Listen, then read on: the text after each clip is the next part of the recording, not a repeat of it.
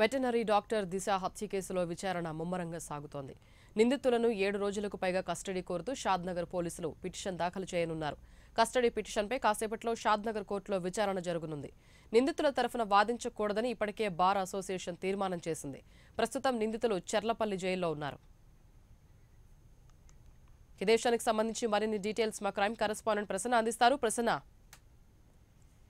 దిశ హత్య కేసుకు సంబంధించి నిందితులను పద్నాలుగు రోజుల పాటు తమ కస్టడీకి ఇవ్వాలి అంటూ మరి కాసేపట్లో షాద్నగర్ పోలీసు షాద్నగర్ కోర్టులో ఒక కస్టడీ పిటిషన్ దాఖలు చేయనున్నారు. ఈ కేసుకు సంబంధించి మరిన్ని వివరాలు రాబట్టాల్సి ఉంది. అదేవిధంగా నిందితు నిందితులు గతంలో కూడా ఇలాంటి చర్యలకు పాల్పడ్డారనేటువంటి వార్తలు వచ్చినటువంటి నేపథ్యంలో నిందితులు నలుగురిని కూడా విచారించేందుకు తమ కస్టడీకి ఇవ్వాలి అంటూ మరి కాసేపట్లో పిటిషన్ దాఖలు చేయనున్నారు. ఏదైతే దీనికి సంబంధించి ఈ కస్టడీ పిటిషన్ దాఖలు చేసేందుకు ఇప్పటికే షాద్నగర్ పోలీసులు అదేవిధంగా సైబరాబాద్ కమిషనర్ నుంచి కమిషనరేట్ నుంచి ఒక బృందం షాద్నగర్ కోర్టుకు బయలుదేరడం జరిగింది. అదేవిధంగా ఏదైతే ఈ కేసుకు సంబంధించి నిందితుల తరఫున వాదించకూడదు అని చెప్పేసి కూడా ఇప్పటికే షాద్నగర్ బార్ కౌన్సిల్ ఒక తీర్మానం చేయడం జరిగింది. నిందితులు ప్రస్తుతం ఎర్లపల్లి జైల్లో ఏదైతే రిమాండ్లో ఉన్నారో వీళ్ళందరినీ కూడా మరి కాసేపట్లో పిటిషన్ దాఖలు చేసిన తర్వాత కోర్టు ఎన్ని రోజులు వీళ్ళకు కస్టడీకి ఇస్తుంది అంటే పోలీసులు పద్నాలుగు రోజులు అడుగుతున్నప్పుడు కూడా అన్ని రోజులు ఇస్తుందా? లేకపోతే కోర్టు ఎలాంటి నిర్ణయం తీసుకుంటుంది అనేది మాత్రం మరి కాప మరి కాసేపట్లో తేలింది Swapna.